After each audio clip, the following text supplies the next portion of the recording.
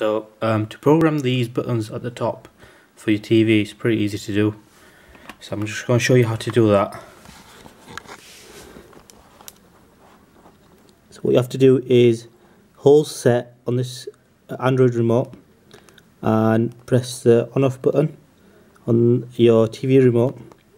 Press and hold.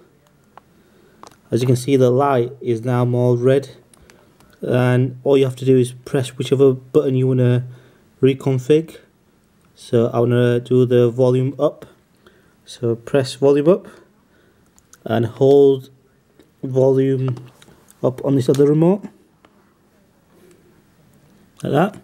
Once that's done you hold it for about 5 seconds press set again.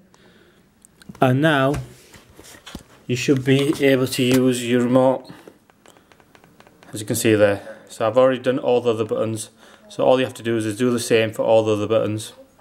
Cheers.